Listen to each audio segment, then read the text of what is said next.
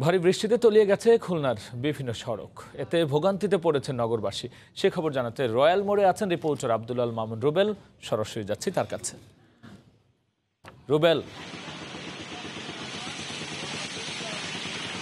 সকাল থেকে টানা বৃষ্টিতে খুলনা শহরের বিভিন্ন এলাকা, বিশেষ করে বিভিন্ন গুরুত্বপূর্ণ সড়ক কিন্তু পানির নিচে তলিয়ে গিয়েছে। আজ সকাল থেকে কখনো কখনো হালকা বৃষ্টিপাত, কখনো ভারী বৃষ্টিপাত হয়েছে।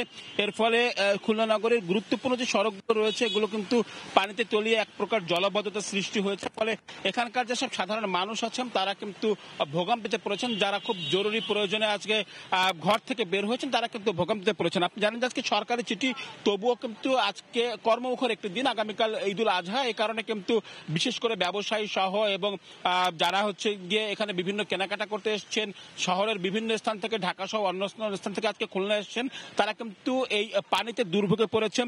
আমরা এখন রয়্যাল মোড়ে রয়েছে, এখানে দেখছি যে আমরা বিভিন্ন সড়ক এই পানিতে যখন যাচ্ছে তখন কিন্তু কখনো কখনো সড়ক থেমে যেতে হচ্ছে।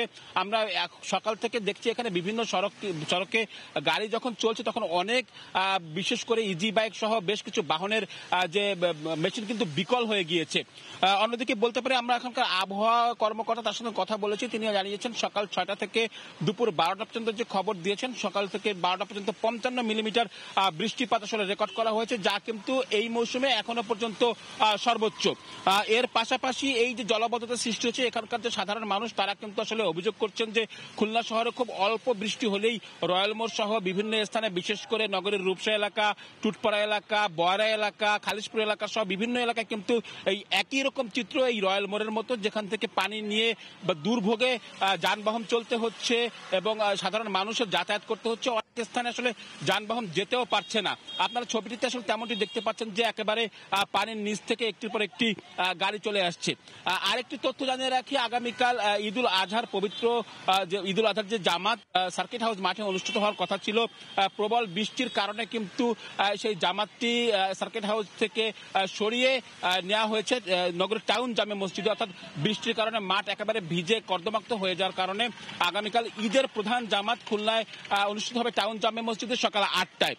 এখান থেকে আমি আরেকটু কথা বলি। এই যে টানা বৃষ্টিপাত এবং জলাবদ্ধতা এগুলোর বিষয়ে আমরা এখানকার সিটি কর্পোরেশনের দায়িত্বপ্রাপ্ত একজন কর্মকর্তার সঙ্গে কথা বলেছি। তিনি আসলে আমাদের জানিয়েছেন যে এখানে যে ড্রেনেজ ব্যবস্থা এটি আসলে আধুনিকায়ন করা হচ্ছে এবং এর জন্য কিন্তু আহ, এই মুহূর্তে বিভিন্ন ড্রেনের কাজও চলছে। এ কারণে এই জলাবদ্ধতা এবং খুব শীঘ্রই এই জলাবদ্ধতা সমাধান হবে বলে তিনি আমাদেরকে আশ্বাস দিয়েছেন। তো আমার কাছে এই ছিল খুলনা থেকে বৃষ্টিপাতে বা জলাবদ্ধতার সৃষ্টির সবশেষ খবর। জলবদ্ধতায় দুর্ভোগের খবর নিয়ে আমরা সরাসরি ছিলাম খুলনায়।